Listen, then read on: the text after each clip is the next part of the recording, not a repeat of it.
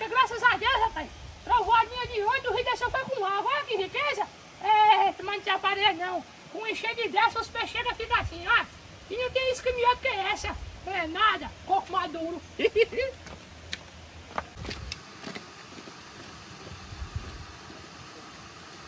Ximaria, como eu me acordei tarde. Meu Deus, olha o sol. Eita, rapaz. Até agora não beliscou foi nada. Menino, já vi mulher piaba, mulher se lapidaíra. Mas os caritos dela na minha minhoca pira. Eita, tá com a gota que daqui pra medir, não tá de nada. Eita, gota. Parece que pelo beliscão era outra ilha, viu?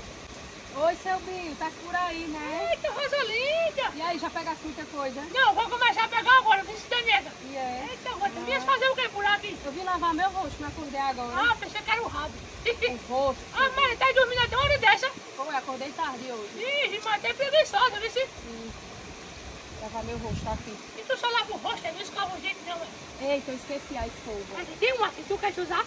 Não, vou só lavar o rosto. Muito obrigada. Tem vestidinho da água, tem a camisola, né? É, Binho, Ei. eu acabei de acordar agora, né? Claro que Acho que eu vou até, até tirar o azar daqui, acho que as traídas vai subir sozinha agora, malas. já deu uma pinicona.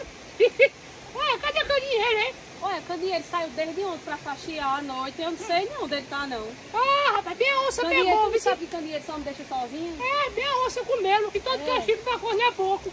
Repita! Repita, safado! Você tá dizendo aí me chamando de corno? Repita! Não achei corno não, rapaz! Tu tava com os ouvintes cheios d'água, vê se... Eu tava dizendo a comadre Rosalinda que tu tá ficando é gordo!